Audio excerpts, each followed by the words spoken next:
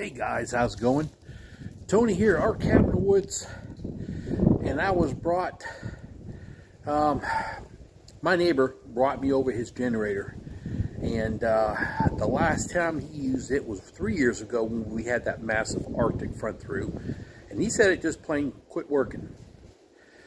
Um, so I said, "Yeah, bring it on. We'll take a look at it." I didn't know what he had, but he has one of these I don't know what's wrong with it at all. I see there's a light on. He was messing with it, and he says this control's all frozen up. It don't go no more than that. This is a dual fuel. This does have propane and gas. Uh, he said it ran good. I think it's I think it's four years old. Um, I can't get that light. To, I can't get it to go off. So something's back here, and I don't know I don't know, the maybe pull these screws out. There's four screws, it looks like. I'll pull this handle out. I don't know, because it does crank over. Um, I don't know where he stored it, because it definitely looks like you know what. So, all right, let me start taking this apart, and let's see if I can't figure something out, see if I've got spark. Uh, well, I, I, take that back. We do have spark because I used, um, when he was here, starter fluid. I blew it in the carburetor, the air filter area, and she fired and ran. So it is a fuel problem. It's not a spark problem. So I have a feeling it has something to do with this control here. And I do not know how that functions at all. So I'm going to take those four screws out. Let's let that hang down, and I'll bring it back when I get when I get to that point. Well, I took the side cover off, and guys, I don't know if this has anything to do with it, but there is all kinds of rat poop, mouse nesting in here. You can tell they eaten up some of these wires here. That actually kind of looks like it's been eaten open. I don't know what that is. But it's there it's coming out everywhere. I think I'm going to have to, uh, I need to vacuum this all out.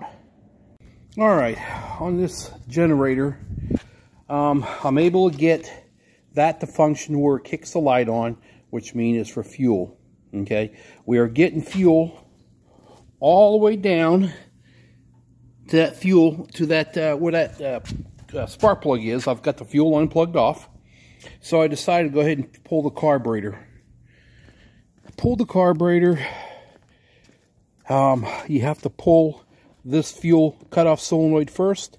This fuel cutoff solenoid was so mucked up. I'll give you an example why I'm talking about mucked up. Can you guys see the color inside that bowl? Can you see that, that line right here? That was full of muck and like sludge in here completely. This was 100% stuck, probably about in that position. I believe when power comes on, I think it's supposed to come way out. I can't pull it with one hand, but see, I think it goes way out when power comes on. See how it's, now it's functioning, it is working. I did have the battery hooked up to it, and it is doing what it's supposed to do now.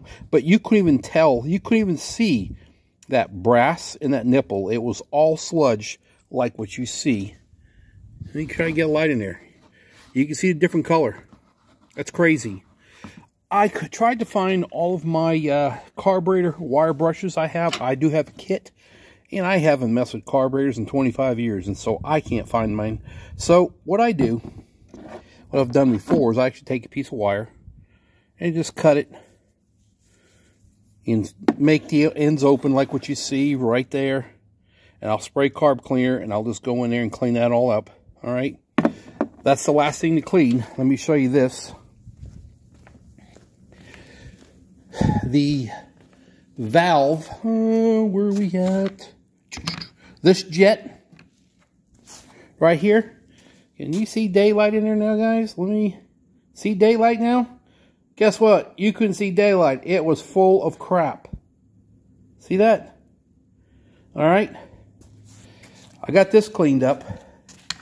I have not attempted this one yet. And you should be able to see through those side ports, I think. They are 180. They're half plugged up, I can see it. So I need to go ahead and clean that. That, that center is cleaned up right there. That center's good. But these side ports, all these tiny holes that's on the side, half of them are plugged up. So I'll use my little wire thing I've got, and I'll clean them up. Then I'll run through. You could see, let me bring the carburetor out here. Look at this.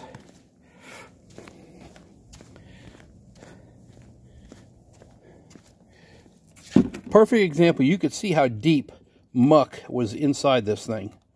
Yeah, it was bad. And I told them it may need a carburetor after I'm done no matter what. It may not even clean out because who knows if some of these jets aren't totally plugged up. So, we'll see. I'm going to go ahead and spray this down with carb cleaner. I'm going to use my wire I've got here, and I'm going to try to scrub up as much as I can inside here. Get that cleaned up, and then I'll move on to cleaning this out. Then I'll move on to getting this cleaned up. Then I'll put this back together. When I get it put back together again, I'll show you what's going on.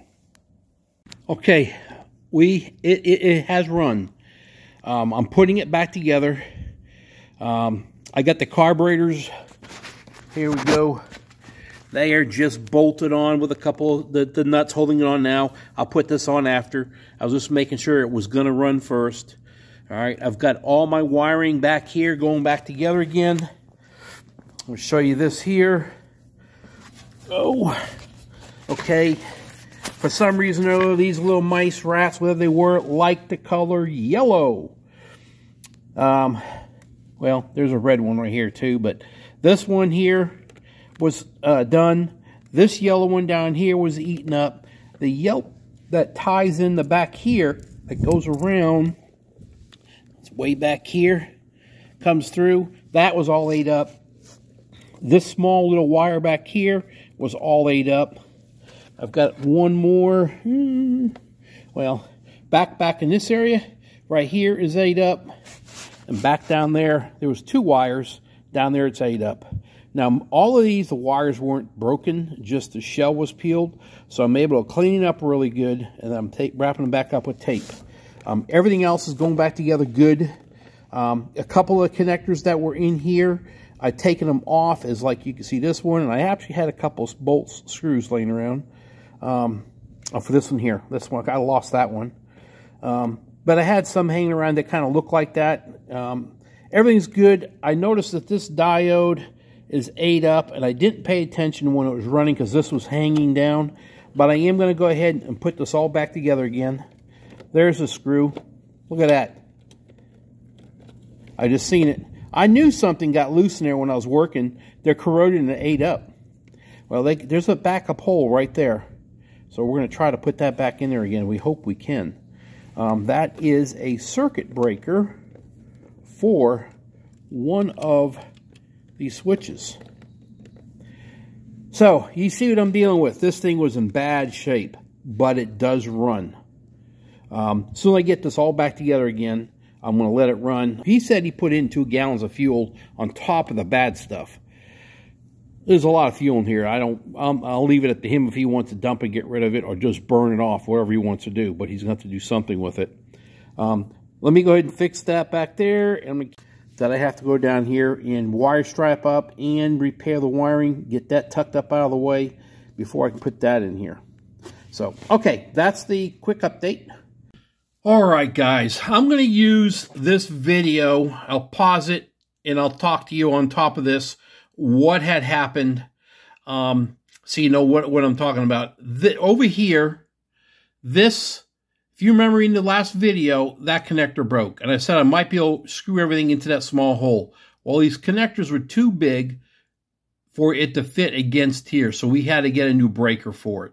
Well, um, he, uh, he said, how quick can we get it? And I told him I wasn't sure, so I gave him the model number. He got me a breaker fast. He wanted the generator back quick because of the big ice storms we're having in. So he brought it over to me. I, he asked, when can I get it back? And I told him I can do it ASAP. I didn't think nothing about recording. I wanted to get this thing back together again. So he got me a new breaker. I installed the breaker. I cleaned up these terminal ends on both these right here. I put in new screws in here. And I told him that this breaker back here, which is a duplicate of this, he should get one of them in stock also because it looks like it's going to do the same thing, break off. So we got it running. Um, uh, I did not drain the fuel out of it. I had no way of getting rid of basically maybe two and a half to three gallons of fuel. Um, so I just fired up and it ran for about two hours here. And then um, he said, he asked me if I can deliver it back to his house and we had the storms coming that neck that night, I believe, of ice, and he wanted it there in case we lost power. So I just basically loaded on my tractor. I brought it back to him, and I heard it running almost all night long over there. He's trying to run that crappy fuel out of there. And um, so that's what happened. Uh, unable to really show you how it went, what went on. I apologize. Um, it did work perfect as far as firing it up. Um, I was way over here is the 110 plug-in on the back side of this panel. That worked, but I had no way of plugging into the 30 amp service or the 50 amp service. But he said he did. And he said that when he fires his generator up that day that he was going to plug in and see if it worked. And uh, I never heard another word again from him. And so I'm assuming that all worked because I know he's had a generator running out there to uh, burn up that old fuel. So that's what happened. Sorry about not videotaping, but we got it running and it all worked really good. All right, guys, thanks again for watching the channel. Thanks for supporting me, uh, sharing if you want, and uh, y'all have a great day. Stay warm, stay safe, all right? Hey, and keep up on your generators. Uh, he told me this fuel was only, I think he said a year, two years old, year old, and it was way older than that. And I told him that too, and he kind of looked at me and he knew. So get that, keep that fuel changed up. All right, guys, y'all have a great day. Thanks again. Bye.